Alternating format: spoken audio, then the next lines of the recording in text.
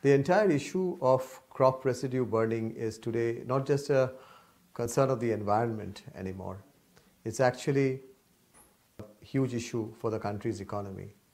And therefore, it has been an endeavor of CII to really launch this as a cleaner air, better life initiative, which we did in 2016.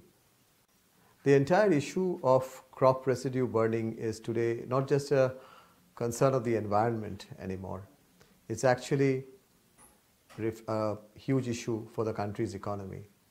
And therefore, it has been an endeavor of CII to really launch this as a cleaner air, better life initiative, which we did in 2016.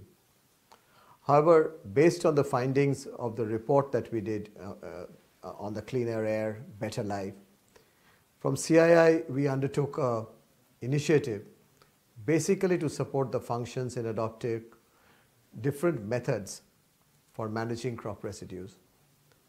And what we did is to work towards enhancing farmers' knowledge cap and capacity on sustainable cropping systems, helping them adopt certain tools which are extremely well crafted and also technologies.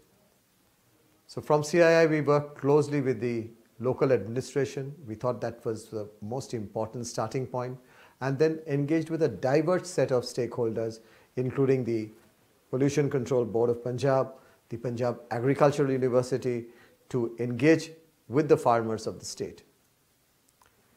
Now, preventing stubble burning is a small step towards battling the entire of uh, the issue of air pollution, improving the soil ecosystem and safeguarding the health of many of our citizens.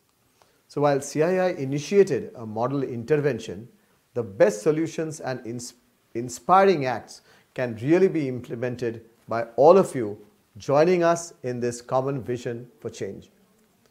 What we can assure is a cleaner air, better life only when all of our corporates, our government, our farmers, our citizens work together and act at this point in time.